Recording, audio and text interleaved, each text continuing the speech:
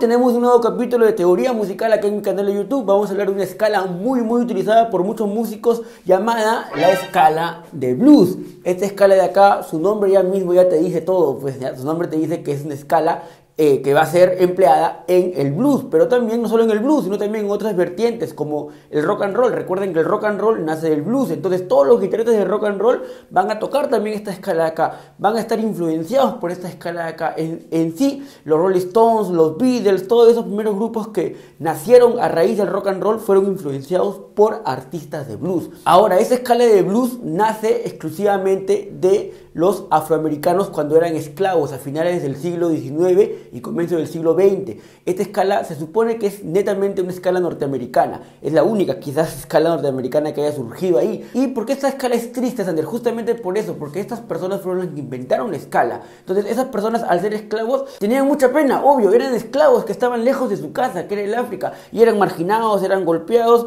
no podían generar arte, no podían generar música. Esto vamos a hablar en otro video cuando nos explayemos netamente en la historia del blues. Ahorita, acá en este video, vamos a hacer cómo se forma la escala de blues, qué es la escala de blues y qué contiene la escala de blues. Vamos a comenzar. Hay muchas formas de armar la escala de blues. Yo te voy a dar la más fácil para que no nos compliquemos la vida. Recuerda que acá no nos complicamos la vida. Acá lo hacemos todo de la manera más fácil posible para que todas las personas lo entiendan. Primero debemos armar nuestra escala pentatónica común y corriente. La menor, pentatónica.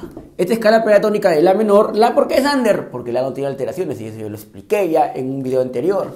La tiene do, tiene re, tiene mi, tiene sol y nuevamente tiene la. Esta es la escala, como acá mismo su nombre lo dice, menor pentatónica. Este es el primer grado, tercer grado, cuarto, quinto, séptimo y octavo grado. Sander, no entiendo qué, estás, qué me estás diciendo. ¿Qué es esto de acá? No lo entiendo. Para que lo entiendas, mira este video de acá donde hablo acerca justamente de la escala menor pentatónica, cómo se forma y por qué tiene estas cosas acá que se llaman grados y también intervalos. Pero acá hay un tono y medio, acá hay un tono, acá hay un tono, acá hay nuevamente un tono y medio y acá hay otro tono. Esto acá, Sander, que has puesto, que llamas intervalos, ¿qué es? Es la medida que existe entre una nota y otra. Así como el plumón tiene una medida, por decir ejemplo, cada 10 centímetros y lo medimos aproximadamente, igual las notas tienen una medida de una nota a otra. De la a do hay un tono y medio, de do a re hay un tono, de re a mi hay un tono, de, de mi a sol hay un tono y medio y de sol a la hay un tono. Y los grados son las notas que acompañan a la tónica, que es la nota principal con la que justamente tiene el nombre la escala, la menor pentatónica, justamente la es la primera nota, primer grado. Ahora, la forma de generar, de hacer una escala blues es justamente añadiéndole, sumándole una nota más a esta escala menor pentatónica que acabamos de hacer.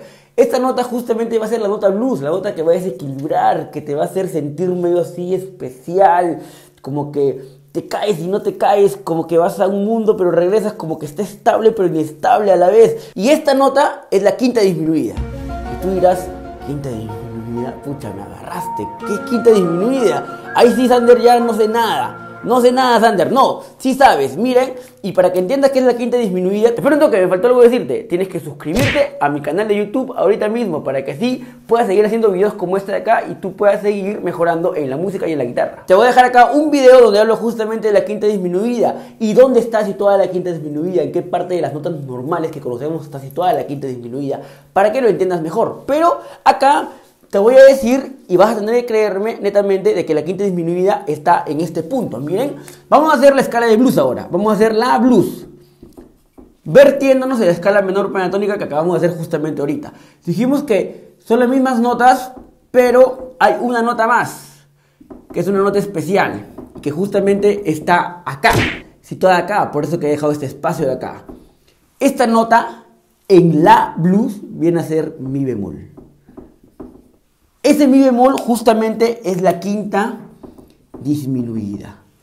Y miren, ¿ah? no se alteren, no se alteren aún. Para que me entiendan bien esto de acá, vamos a nuevamente poner los grados que están acá, pero ahora acá abajo.